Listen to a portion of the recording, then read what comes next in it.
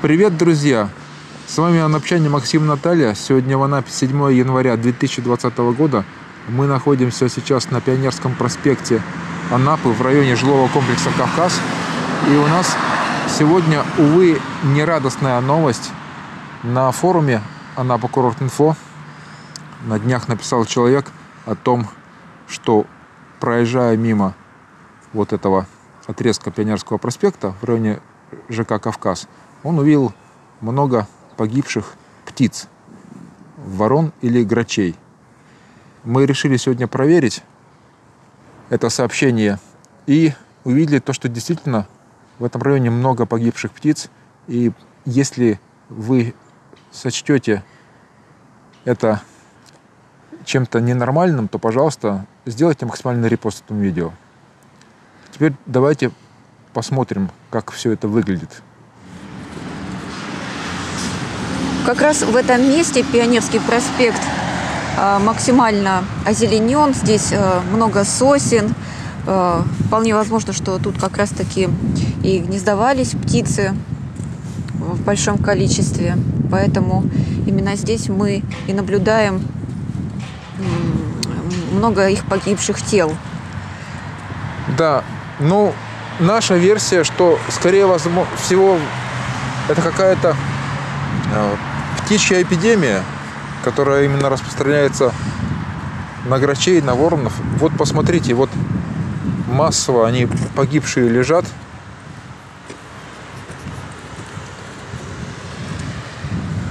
Неизвестно, что с ними случилось. И вот именно вот эти птицы, вот эти черные птицы, ну, грачи или вороны, может быть и те, и другие. То есть других видов птиц среди них не видно. Что с ними произошло, точно непонятно. То есть это не 5 птиц, не 6, а десятки.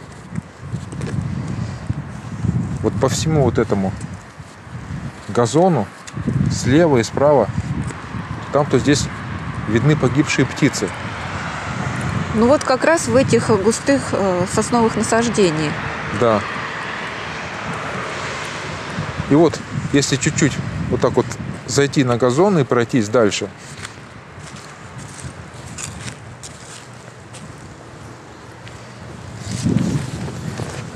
тоже полно птиц.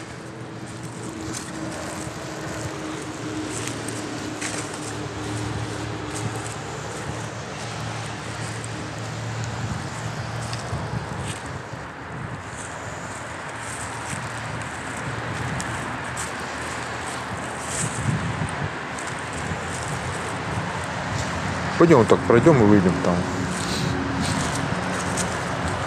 В общем, мы первый раз такое видим.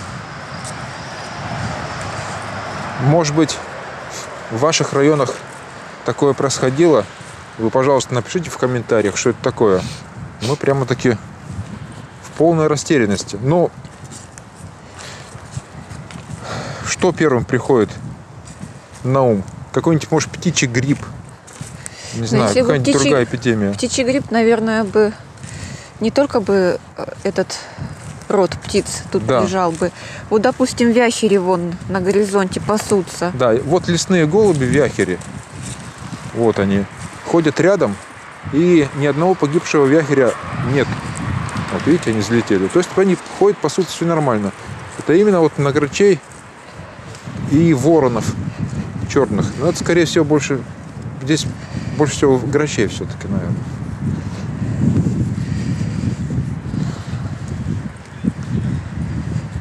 Ну вот и там дальше, там уже поменьше, но все равно есть.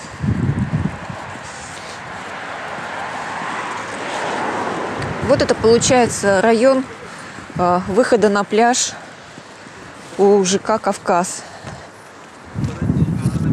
Ну, сейчас выход перегорожен.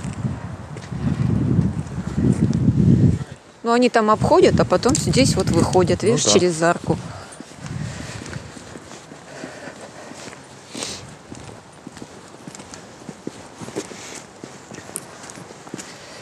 Просторный январский пионерский проспект.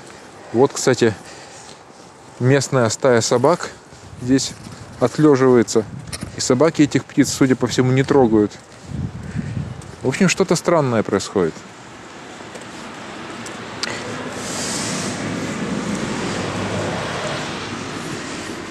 Собачки мерзнут. Холодно сегодня.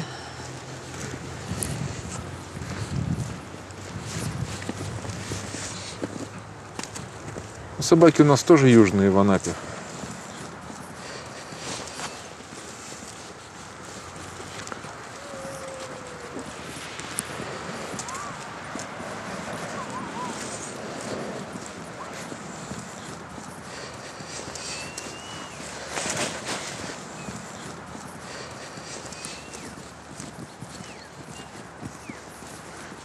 Мы сегодня приехали сюда из центра Анапы на маршруте номер 128.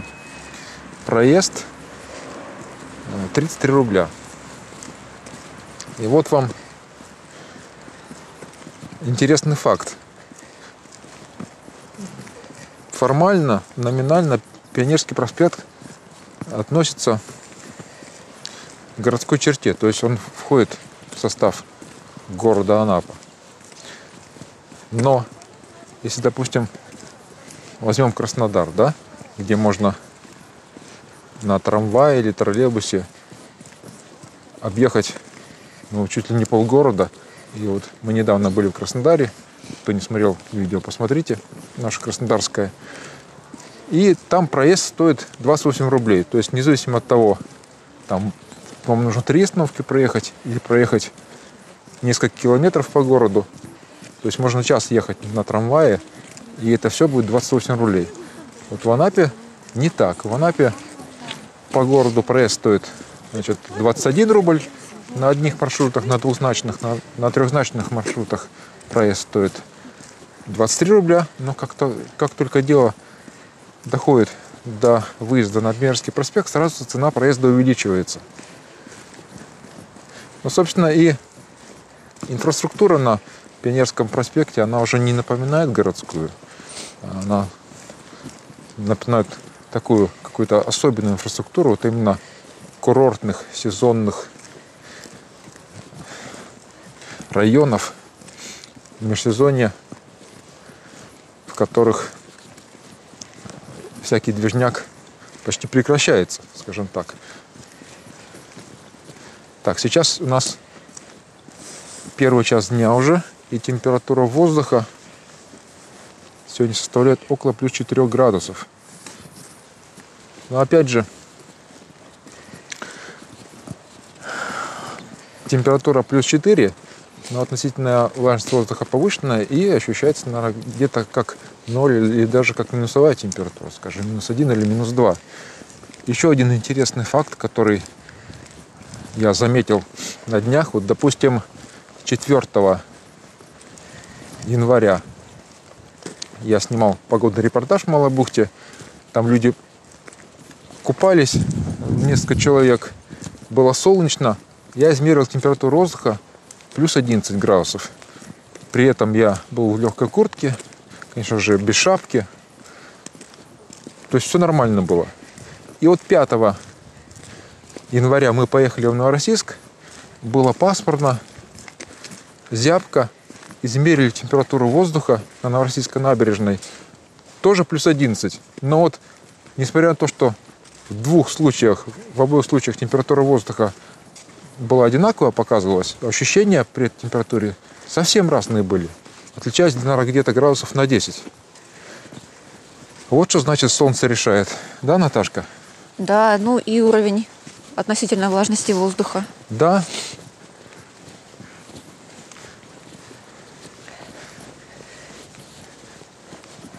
Вот мы уже зашли на территорию знаменитых анапских песчаных дюн.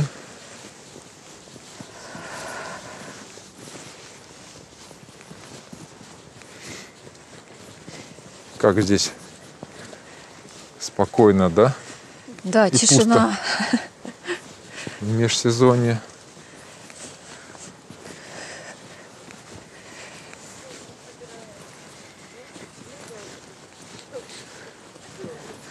Хорошо, что еще сегодня сильного ветра нет. Топ, наверное, вообще было бы ай-яй-яй.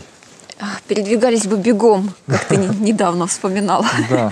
Бывал- бывали случаи прогулок у моря у нас с Максимом. Было настолько холодно, что приходилось на скоростях гулять. Вы, конечно, не думаете, что мы там вообще не способны переносить минусовые температуры воздуха.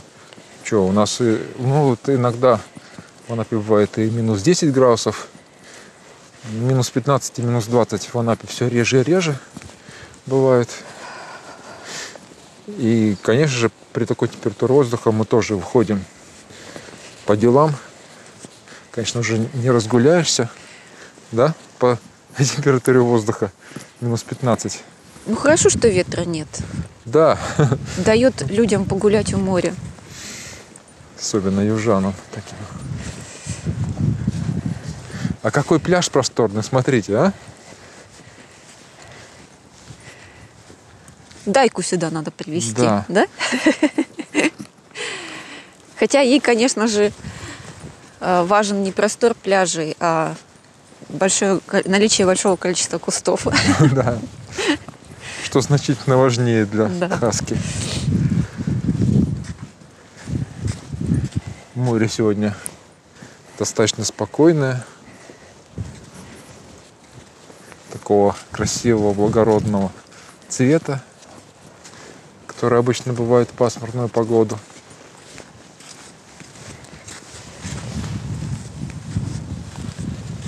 На небе облачность, тучи в массовом количестве. Сегодня обещают в Анапе опять дождик синоптики. А, ну, конечно же, сегодня похолодало в Анапе.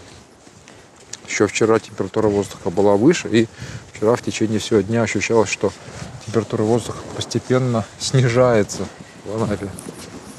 И прогноз погоды на ближайшие 10 дней обещает, что в Анапе, прогнозирует, что в Анапе будет порядка плюс двух, плюс трех, плюс пяти градусов днем. И все дни, ближайшие 10 дней будут пасмурные. И в некоторые дни будет дождь.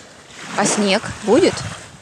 Ну, Скажи мне, снег будет? там, где, там, где я смотрел, там снега не прогнозировалось. Но какое все-таки море классное. Вот подошли, и море сразу легкими накатами Приветствуют нас, приветствует, говорит, привет, как дела, что купаться будете?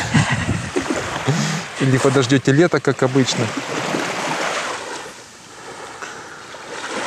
Местные жители в своем большинстве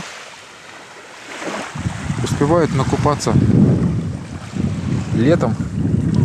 То есть это даже не весной и не осенью, наверное, летом. Когда и температура воздуха, и температура воды оптимальные для купания. Ну вот я хочу заметить, что мне кажется, купание в море для местных, купание в море для людей, которые приезжают на отдых в Анапу, э, по-разному воспринимается. Вот мы живем же здесь, да, мы всегда можем покупаться. То есть у нас Да. нет вот этого ощущения, а вдруг не получится. Ну почему не получится? Лето наступит, вода станет теплее, мы будем купаться. А люди, которые раз от раза приезжают на отдых, и у них может что-то не срастись, что-то не получиться, может погода не, не быть комфортной в, в дни их приезда. Они поэтому относятся, а, как это, ответственнее, наверное, да, а, к купанию в море, Да, чтобы получилось.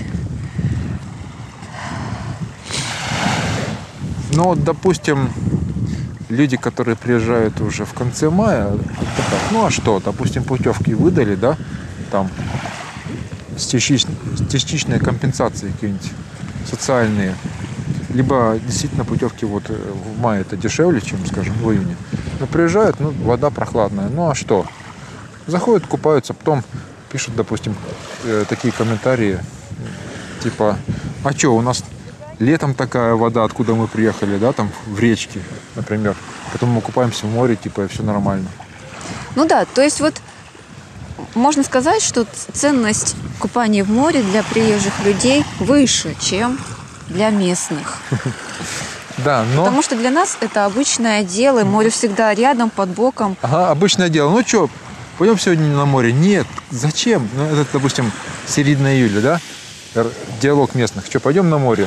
Нет, зачем? Мы ж все предыдущие 10 дней ходили на море. Давай прерыв сегодня сделаем. Вот так многие местные рассуждают.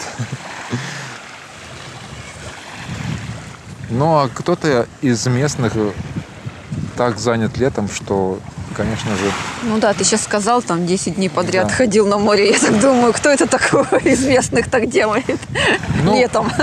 местные, местные, допустим, пенсионеры, или местные рантье, у которых заработок более-менее такой пассивный, Ну, вот, не кстати, требующий Вот, кстати, вот действий. прям такие вот э, сильно местные пенсионеры, мне кажется, тоже пренебрегают вот этим местом жительства у моря, и, я думаю, редко ходят. Ну вот э, редкие пенсионеры местные ходят на море. А те пенсионеры, которые часто ходят, можно предположить, что это пенсионеры, недавно переехавшие в Анапу на ПМЖ. Да. Ну а что? Допустим, те люди, даже которые живут в Анапе и не посещают пляж регулярно, они все равно получают бонусы от анапского климата, от морского воздуха. Они, допустим, откроют форточку, им этого достаточно, да? Дышать свежим морским воздухом. Вот здесь тоже набросало множество водорослей после штормов недавних. И причем вот сейчас в межсезонье водоросли на песчаных пляжах Анапы, и на гаечных, они, в принципе, похожи. Вот эти бурые водоросли. И кто-то вот в комментариях к предыдущим видео, где я показывал, в частности, водоросли в Малой бухте, пишет, о, как много водорослей, ай-яй-яй, как, как же так? Говорили, только летом они бывают. Да. Ну, это естественное явление. Море – это живой макроорганизм, скажем так, да? И то, что в экосистеме моря все более-менее в порядке, вот, э, это и как раз-таки показывает выбрасываемые на берег водоросли. Если бы водоросли в результате штормов не выбрасывалось, вот это бы уже бы озадачивало бы. Да, где, собственно, флора морская, да? Да. Куда она делась?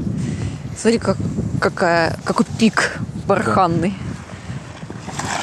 В Черном море же есть и планктон, так называемые вот эти микроорганизмы, которые живут в водорослях. Красивые анапские барханчики, дюны. Можно так ходить и любоваться. Но вот мы вышли и благо погода позволяет. Если хотя бы так немного идти, не стоять на одном месте, то в принципе холодно не будет. Главное одеться соответствующе. Вот мы как раз сегодня оделись максимально тепло для нас. Ну нет, не максимально. Ну, так скажем, куртки у нас максимально теплые. Да. Там, конечно, под куртку можно еще несколько слоев надеть.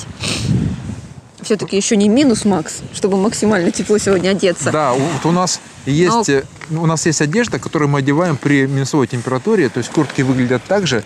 Мы одеваем теплые шерстяные свитера, мы их называем супер шерсть между собой. Вот сегодня мы их не одели. То есть еще есть куда одеваться, когда придет минус. Так что вы не думайте, что мы тут плюс четырех вот так вот, как на Северный полюс. Но ты же сам говорил, что несмотря на то, что плюс 4, ощущается намного холоднее. Да, но ощущается как реально минусовая В температура. общем, куртки нужны непромокаемые, непродуваемые. Хорошо так с капюшонами, чтобы они закрывали загривок. Ну, вот мы уши. показываем. Да, чтобы они были ниже, ну, по, по бедро. Ниже пояса, да. Да, ниже пояса, чтобы ничего не поддувало, не задувало. Вот. Так что будете в Анапе зимой, учтите. Да.